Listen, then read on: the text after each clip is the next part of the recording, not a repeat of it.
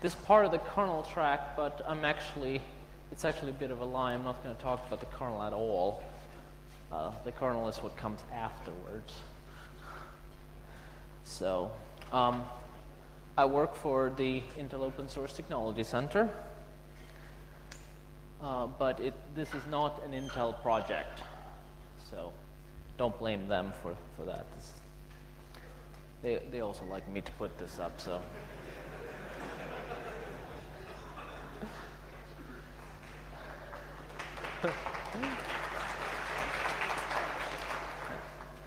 SysLinux, as of right now, is a suite of bootloaders.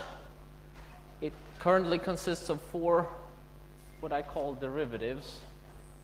Um, this is a bit of a legacy term from when the differences between them was much bigger in terms of code. It really comes down to different file system support. The original SysLinux, in all caps, just to be extra confusing, is for FAT file systems, uh, MS-DOS file systems. This uh, was originally done for boot floppies. Follow that came network booting in, uh, in PXE Linux. This is named after the PXE standard, which is the standard for network booting on x86.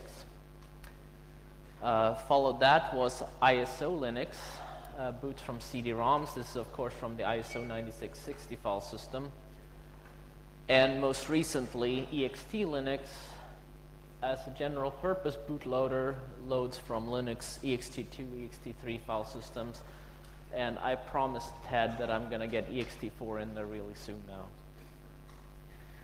Uh, right now, this is only supports the x86 BIOS platform.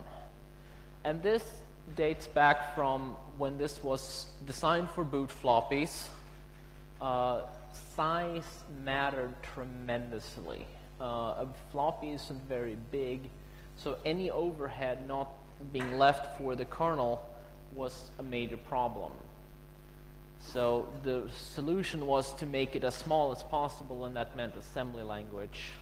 Um, this has since become a liability uh, in terms of support uh, and maintainability. So we're, uh, I am very much trying to get as much code out of the assembly as possible. We have several sophisticated menu systems. Some of them are written by me. And perhaps most important, uh, this is, uh, SysLinux has been designed with a extensible, it's extensible via a module API. It also contains a couple of additional pieces which are useful for some people. MemDisk is a disk emulator.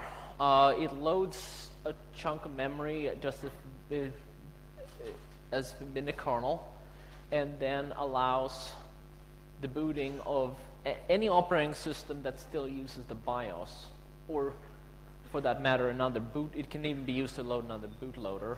It's frequently used for diagnostics. Um,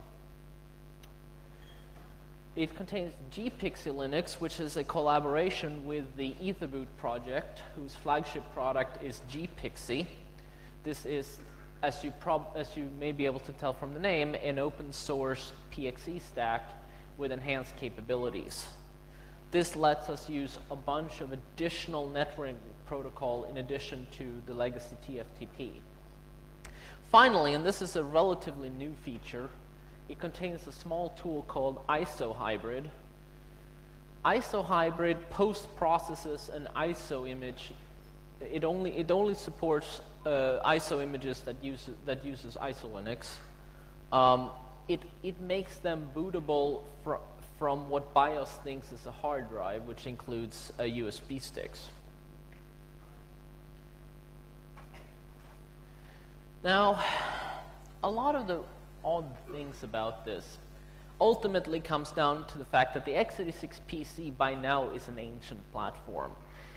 I, I, I calculated out that the, P, the, the PC has existed for 45% of the entire existence of electronic computers, so almost half. The uh, original IBM 5150 um, came out in 1981, and a lot of the BIOS definition was dates back all the way to that one. There were a few more things added in the uh, IBM AT and the PS2 that are still kind of considered considered standard. This pretty much dates back from when IBM had, you know, firm firm, uh, firm leadership in the in the area, and uh, kind of after that, no. After that, um, uh, we only had floppy and hard disk booting standard. Anything else required a custom ROM for everything. Um, uh, this kind of led to a bit of an untenable situation where you know it seemed like no one could advance the platform, and after a few kind of missteps, there started to be cons industry consensus standards, and one of the first ones of those was the CD-ROM booting standard called El Torito, supposedly named after the restaurant where the people who came up with the standard were had dinner. Uh, it came out in 1993. Um, El Torito contains two modes. Uh, one is you have a disk image on the CD and it just boots as if it's been a disk. And the other one is so-called native mode where you can actually access the entire CD. Unfortunately, uh, the native mode didn't work very well in many BIOSes until the late 90s. Similarly, we had a, a network booting standard uh, originally developed by Intel, uh, came out in 19, 1997 and then revised in 1999. Some of the, er, again, some of the early code were really, really problematic there. And even today, we are seeing a fair number of bugs. But at the very least, this brought standard, standards-based network booting to the x86 platform. USB drives is the most recent collection of the to the PC bootable zoo. They just appear as as reg conventional disk drives, uh, at least when there aren't bugs. And unfortunately, there are still bugs in a lot of BIOSes. There is, however, tricks that can help. The SysLinux wiki and the SysLinux mailing list have collected a fair number of tricks that works seems to work for a lot of people, and it's a good place to get some more information on that. So, the SysLinux project itself was uh, came out of a overnight hacking binge that I had in 1994 I had just had a miserable experience reinstalling the machine with Linux where I found out that I needed a special kernel for, for the driver that I had. This was before modules were widely used in the Linux world. Um, and you know, I had to boot from this floppy, which was a completely opaque object. And you know, I didn't have another Linux machine handy. And so basically I had to give up until I could go somewhere else where there was another Linux machine. And I thought, this, is, this really sucks. Like, th th this is just wrong, you know? So I decided to go out and write a bootloader that would actually boot from a floppy that another operating system would recognize so that you could take your, the, your legacy operating system, you know, that was DOS primarily back then, and actually make your Linux boot floppy, even if you have to do custom stuff. And it should look like a DOS floppy, you know, DOS should be able to read it, DOS should be able to write it.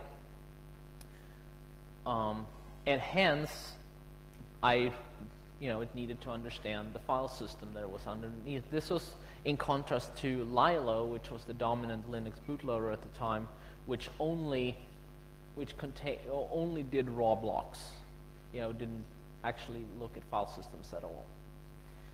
So, for, you oh, know, it was kind of okay. A lot of distributions adopted this for, for, for their boot floppies. Boot floppies were pretty ubiquitous that back then.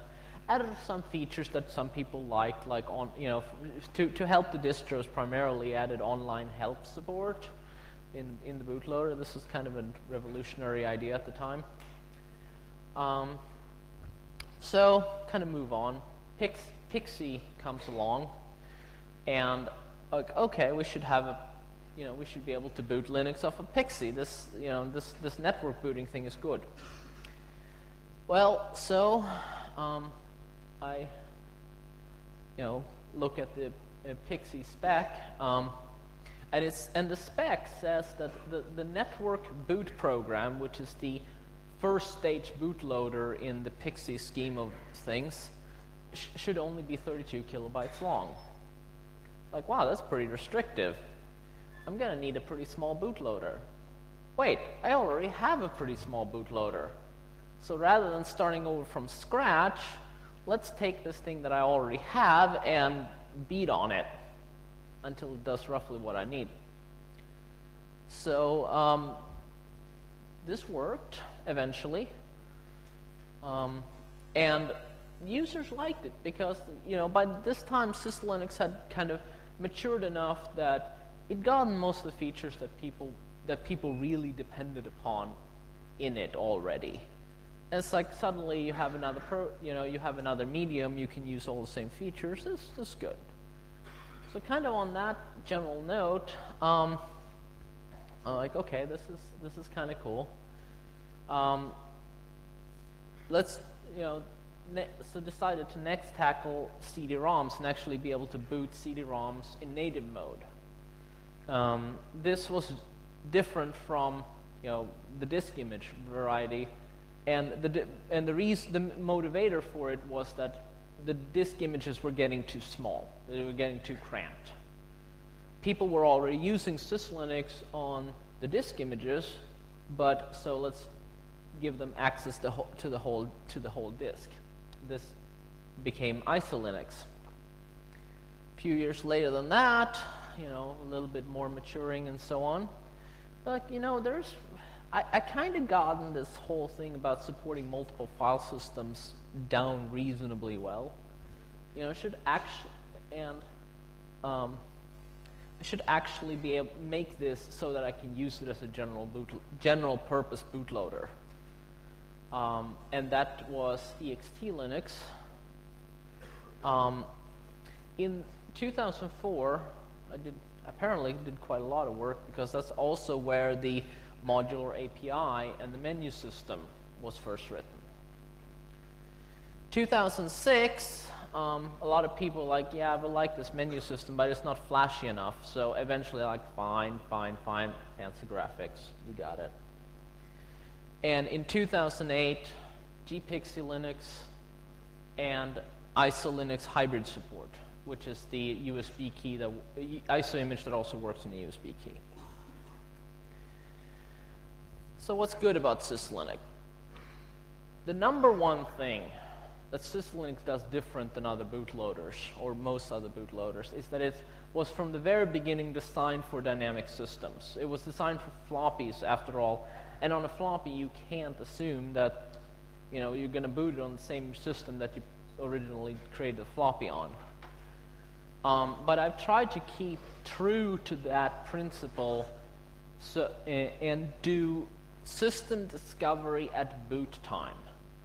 I, do, I, I try very, very hard to keep SysLinux such that you should make, be able to make almost any arbitrary reconfiguration of your system. You should be able to pull out half your hard drives, rearrange them, you know, put them in, put them in another system, whatever. It should still work, if at all possible. The other, th the other basic principle I've tried to keep true to is plays nice with others. I try to stick very closely to the established principles for booting a PC, which is somewhat, they're somewhat arcane. Um, and they're somewhat restricting, but for example, I don't support installing into the MBR, as some other bootloaders do, simply because it makes the job of dealing with other operating systems that do weird stuff harder. Uh, by now we have a pretty sophisticated user interface and we have, again, the modular API, which I'm going to talk more about later. Uh, what's this problems? Um, well, first of all, large, it has a large core of assembly code. This was, this was, a, this was useful for size, but it really has become a liability. Um, again, we're only, it's only available on the x86 BIOS platform, and this is pretty much because of the large assembly core.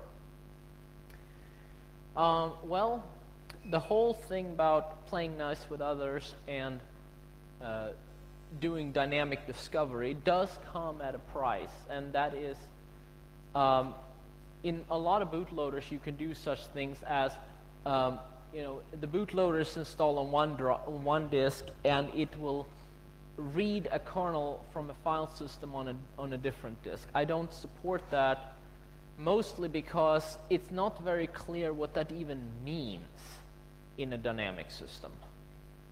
You know, you, th this drive may be, you know, this drive may be drive zero and, and that drive may be drive two today, but there is no guarantee that that's going to be the same, the, the, act, the case when the system is actually booted.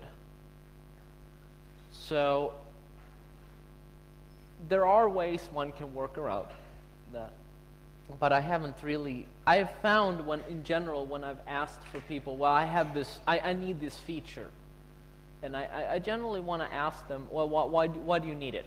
What, what do you, you know, well, I'm doing this. And, and there's usually another, usually better way of doing what, what they're needed to do. Now, I'm fully willing to be convinced that this is, you know, I am have too narrow of a view, but um, this has turned out to be the case so far.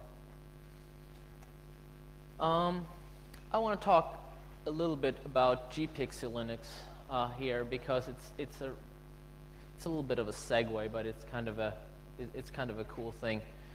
So this gPXE comes from the Etherboot project. It is gPXE, and, and, we, and we have then taken it and put it together with PXE Linux into one image. What, uh, now, gPXE uh, provides an extended PXE interface which is specifically designed for PXE Linux. So PXE Linux has some special bits for gPXE and gPXE has some special bits for PXE Linux. You put these together, you can boot over the you know over a variety of network protocols. Uh, currently, we're up to HTTP, FTP, NFS, ATA over Ethernet, iSCSI, FSP, and I think there are like two or three other protocols which are just too obscure for me to remember right now. Um, the goal is for this is that you should be able to, uh, the goal for this was that you should be able to swap in and out um, PXE Linux in an existing configuration and have it just work. Um, we are about 95% there. There is one semi-obscure feature of PXE Linux that is not supported in gPXE Linux yet, uh, but it works for the vast majority of users. Uh, this lets you do things like, well, I want to dynamically generate configuration files. Well, I can just do it. With, you know, I can just put it up on Apache and you know do a CGI script. I know how to do that. Um, if you're doing it this way, you, need, you still need a TFTP server for the initial bootstrap. This is because the the, the, the, the PXE stack that came on your, on your card only supports TFTP. Now, if you are willing to reflash your NIC and put gPXE on your NIC, then you don't even need that.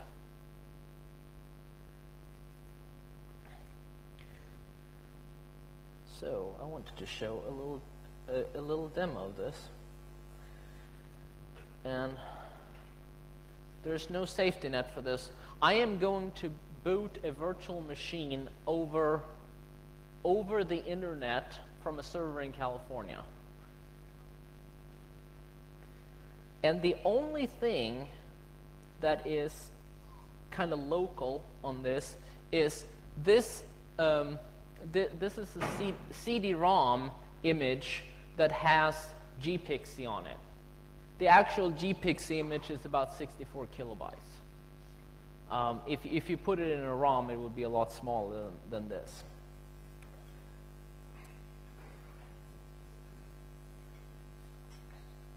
So this is gPXE. We'll start up, do your usual discovery.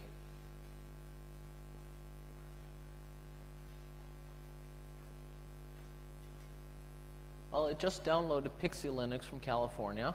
It's hunting for a configuration file.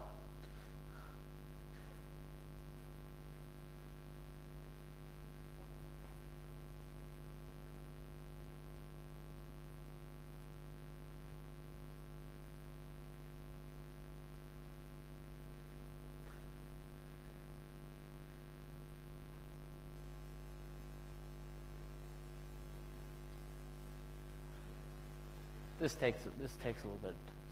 Yeah.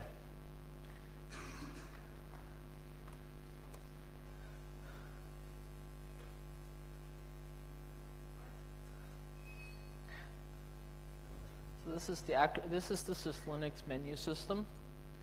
You can have submenus and you know graphical backgrounds and all that sort of stuff. In this case, let's try to boot Tom's boot disk again, this is over this is from this is over HTTP from a web server in California.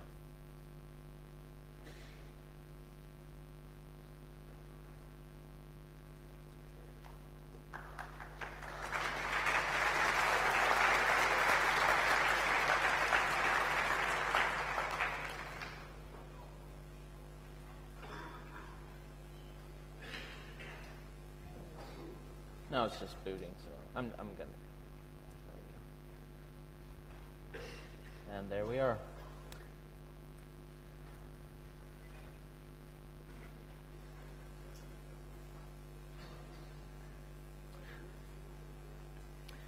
Now,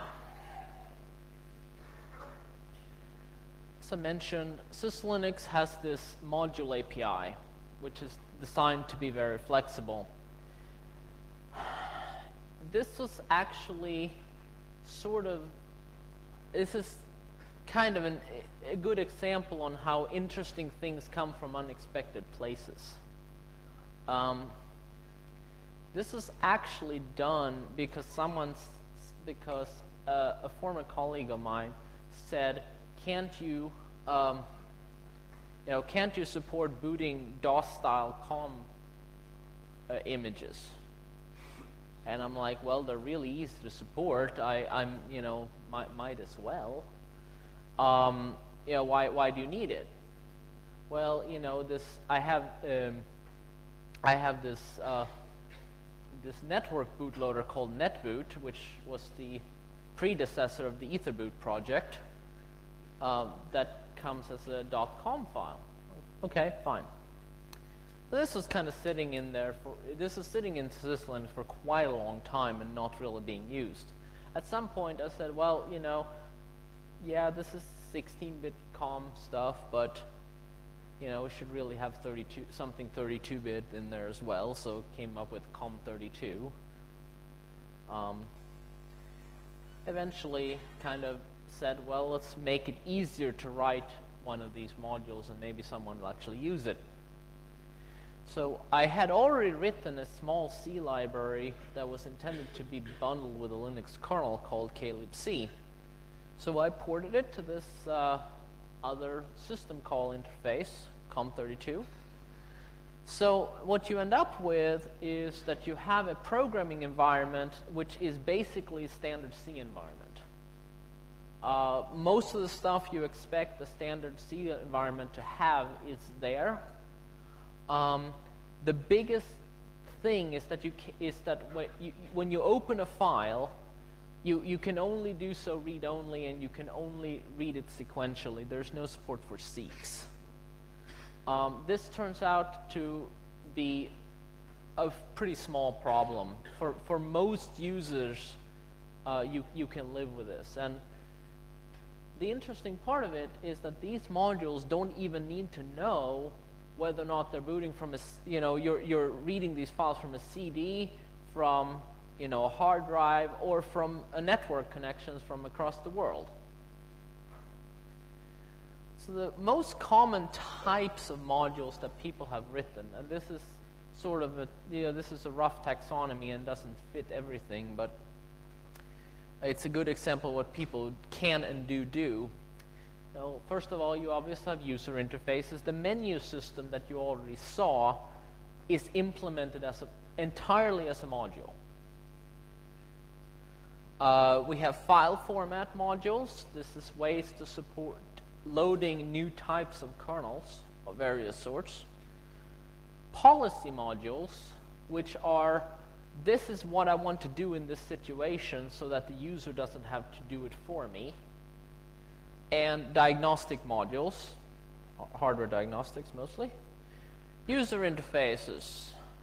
Right now, there are, in, in bundled with the SysLinux distribution, there are, there are two different menu systems. Uh, the very first one was the complex menu system written by Murali Ganapathy, who was then, uh, while he was at the University of Chicago. This thing does everything. Um, I have some screenshots on it on my website. It will it does things like you can have cascading submenus and dialog boxes where setting a dialog box here changes the command line in a completely different menu and you have a little status bar at the, at the bottom of the screen showing you what you're currently doing. Trust me, the, yeah, like for a large site that just needs this, this enormous flexibility, as they apparently did at University of Chicago, it, it's absolutely unbeatable. Um, the simple menu system came later. This was after people was people were saying, well, yeah, this menu system that you have is it, it's really cool, but it's way too much work to configure. For most people, it really is. So the simple menu system just takes a simple file or, or set of files and you know pretty straightforward just load, you know presents a menu and uh, not without too much fanciness. There's a graphics library in here, which, which is designed to make the same code work for, for either a graphical console, a text console, or a serial console. The code in the menu system that you saw is the same for all three types of consoles. Um, in fact, if the graphics library, if, if that menu system had booted and found that we didn't have a, a graphics card that it could use, it would just have defaulted back to text mode. Similarly, if it had found that it had a serial console, it would just have used the serial console. In fact, the serial console works at the same, you know, works in parallel with the display console so that you can either be a human being touching the physical console, or you can be, uh, you know, on a remote uh, terminal server somewhere else. Now, obviously, if you're using graphics features, like you're using little icons, for example, well, and you're bypassing this sort of console library, well, there's not much I can do about that. But this is, of course, allowed if you want it. File format modules are a way to, you know, it's a module that, you, that implements a new type of loadable object. Um, again, the goal has been to make these easy to write. So in order to do that, the module uh, describes where in memory things should be going. You don't actually, as the module author, have to do the work of actually putting it into the proper place. You just have to tell the rest of the library where things should be going. And then there is this thing called the shuffle library. The shuffle library looks at where things are now, where things need to be, and what scrap memory it has to play with and computes a set of move operations. that will put that will end up with everything in the right place at the end. Uh, an example on this is the Microsoft System Deployment Image Format. I had never heard of this until someone asked me, hey, I want to boot WinPE with SysLinux. It's like, okay, I don't know the first thing about WinPE. Turns out that they have this, this thing called SDI, which is roughly the equivalent of, of roughly the equivalent of having a Linux kernel and, an, and, a, and a RAM disk. Um, it's kind of basically a Windows kernel and a RAM disk. Um, supporting this format took a module that was 199 lines of C code. 139 lines of those were, were actual lines that actually did something, including lines that had single curly braces on them. Most of that is taken up by error handling, meaning the, you know, look at this header field. You know, this is not the right type of header field. You know, this, if this problem, then error this. If that problem, then error that. If this problem, error that. That's actually, you know, the, the, end, the, the resulting code is, is, is very small. Diagnostic modules are um, uh, modules that tell you about, uh, about your hardware the um, one of the first ones was P PCI dumper written by Erwan here. Um, now, what we have done is we've taken a lot of that dumping, the, the actual code that gets the state out, and moved it into the library so it's available to other modules. Uh, this both lets us build better diagnostic tools. In fact, some I, I, wish I could find it again because someone showed me this this uh, kind of hardware inventory thing that's actually been written on top of SysLinux, and then I lost track of where I found it because I hadn't even I, I, because I hadn't seen it before. But it, um, it's some it was kind of neat where you where you could actually get like cascading windows of describing what your hardware looked like at pre-boot. Um, and finally, we have policy modules, where an example of policy is boot, boot this kernel if I'm on a 64-bit machine, boot this other kernel if I'm on a 32-bit machine that has PAE, this is presumably high mem kernel, and otherwise boot yet another kernel. This is an example of a policy. You can tell the user to pick different menu items, but why should you have to? This is stuff that can be done automatically. It should be doable. This should be done automatically. So an, a, a, module to implement this particular policy was 129 lines long, 70 of which were something other than blank lines or comments most of, the, most of that code was taken out by picking apart the command line and putting it back together again. Uh, and this is because if, if these things had been fixed compile time constants, th that wouldn't have been necessary, but this was meant to be a general purpose module. And sure, you can, you can combine things into, in, into modules that do all kinds of strange things. We have code right now that can, that can probe your PCI bus, map those devices to the corresponding modules in the Linux kernel, then build you an initram FS with only those, with those modules and no other modules, and do all of this at boot time. You know, for the system that you're booting on. This is already there, already working code. But soon as you have that, you, you, you, also, you also you know, discover that there's always going to be limitations. Right now, for example, you you're starting to see a lot more devices on USB, even on FireWire and so on. And these sort of extended buses are harder to discover because you need a driver for the bus itself, for the HBA of the bus, in order to be able to further enumerate it.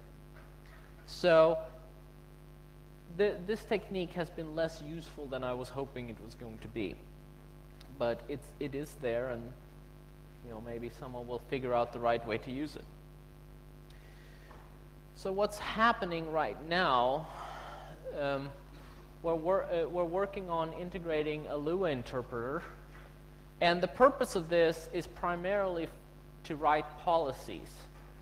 People really don't like having to compile a C module to, to do a new policy, and, I, and that's very understandable. So doing it as a Lua script seems like a much more useful thing.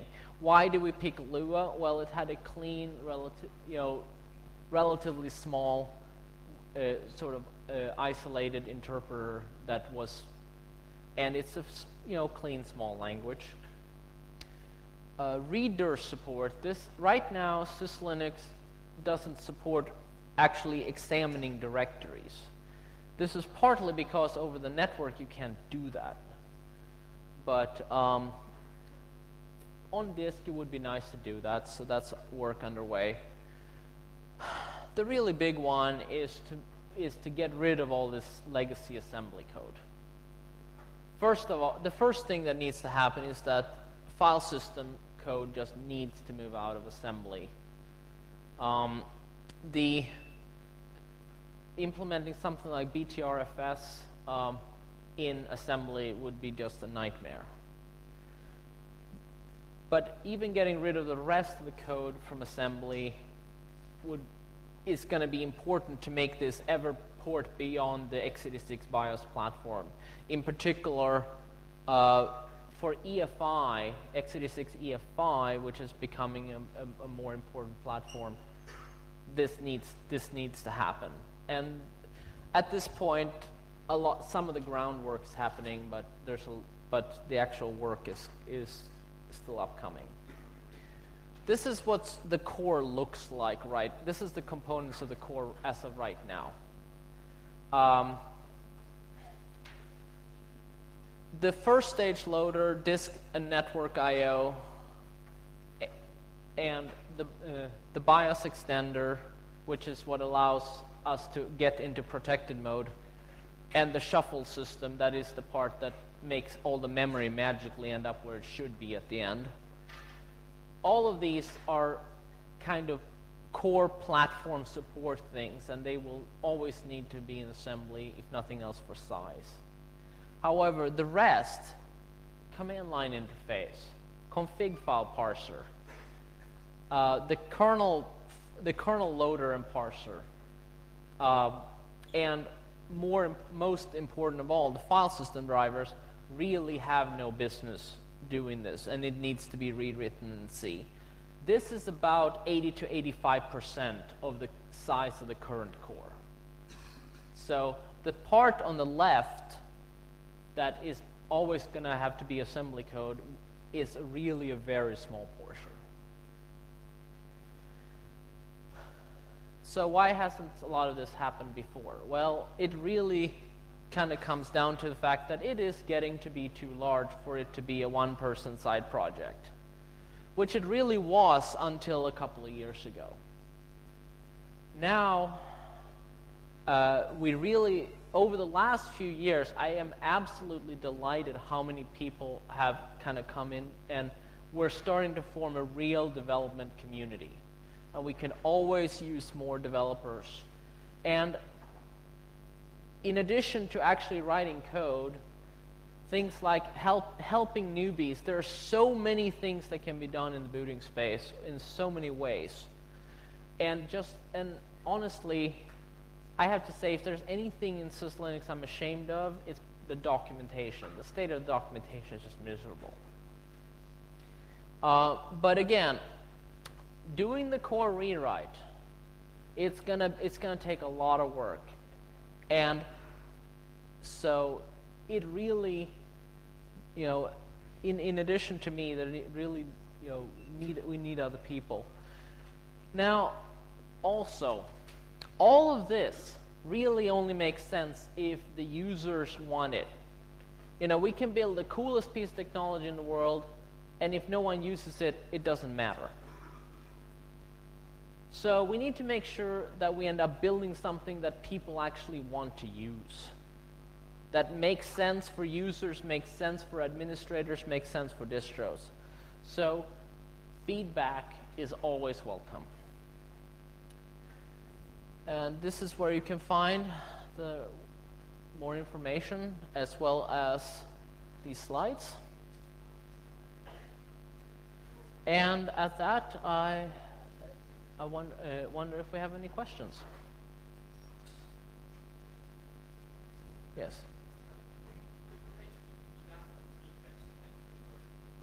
I'm sorry?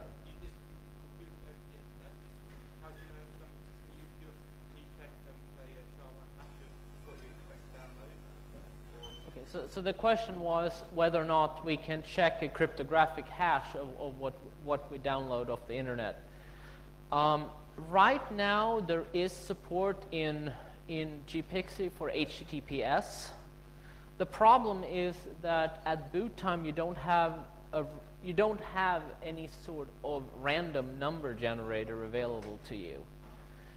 This means that the security you get is pretty weak because most authentication schemes rely on having a random number generator available.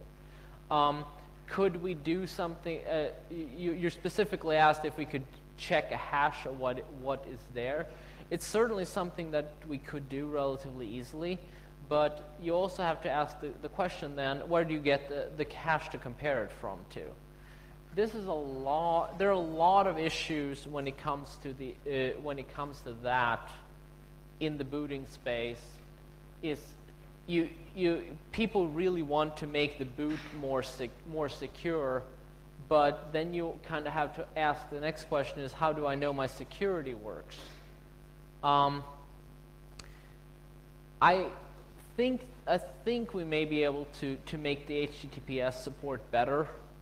Uh, it it hasn't been a huge priority for for for the uh, people at the, at the moment, but um, we probably we, we, we probably can make that better if if not perfect.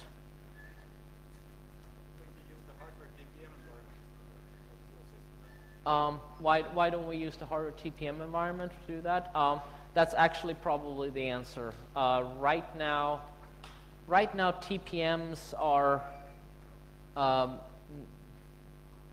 you know, not, they're, they're, their availability is somewhat spotty, but that is of course changing. So, the TPM, if nothing else, should be a should be a. If we can find the TPM and straighten out the fact that there is at least four different hardware protocols involved, um, it, at least they should provide us with a reliable random number generator and, and possibly secure storage for things like keys and stuff like that. So it's, it's, it's actually the right way to do that.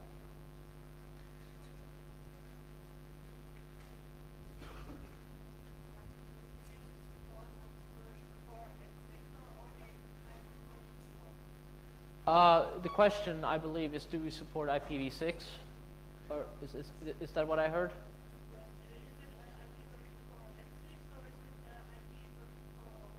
Okay, so the question is, do we support IPv6 or, or, or only IPv4?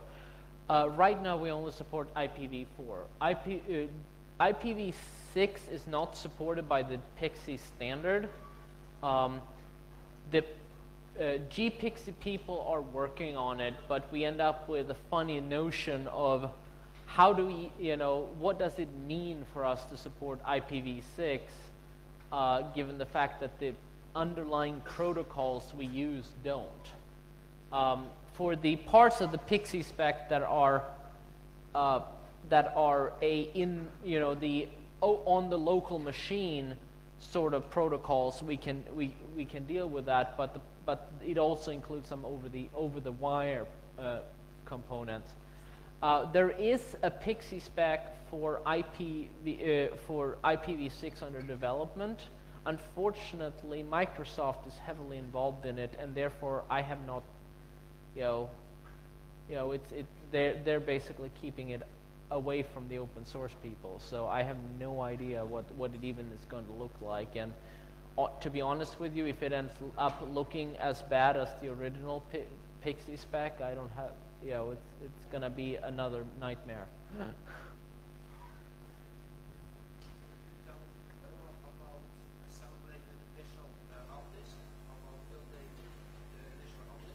Uh, so the question was if I can talk more about building an initial RAM disk.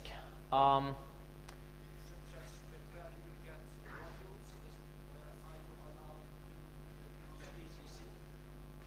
uh, so the question is, where do you get modules? Are you allowed to use GCC? No, uh, we don't have GCC ported to the SysLinux. DCC, I'm sorry. Oh, DJ GCC. No, okay. Okay, I, I, I, I don't believe I'm familiar with it. Uh, but okay, yeah, it's, it's, it's a GCC uh, thing. Um, the answer, uh, well, the, the answer on the module front is that the normal thing is that the modules will actually be already compiled on disk. Um, I could you I mean, I'm sure that we probably actually could build an environment where you could compile a module on the fly. Um, it's, you know, there's no technical reason why it's not possible. Um, yeah.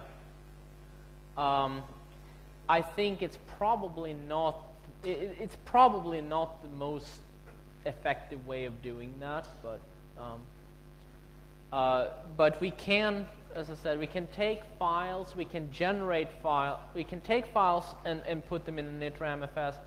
We can uh, also generate file contents and put them in initramfs. So all, all the pieces are there, certainly.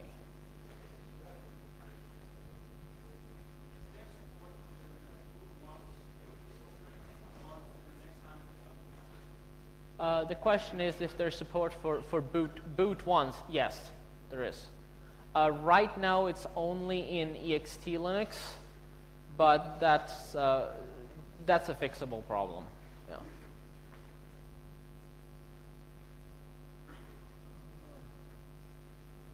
Any more questions? All right then, I think we're done. And